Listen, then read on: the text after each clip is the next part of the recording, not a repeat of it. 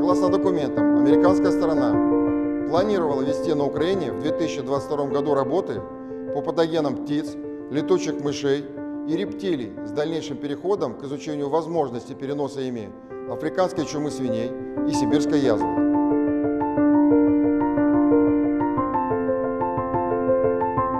Целью этих и других финансируемых Пентагоном биологических исследований на Украине в ближайшее время мы опубликуем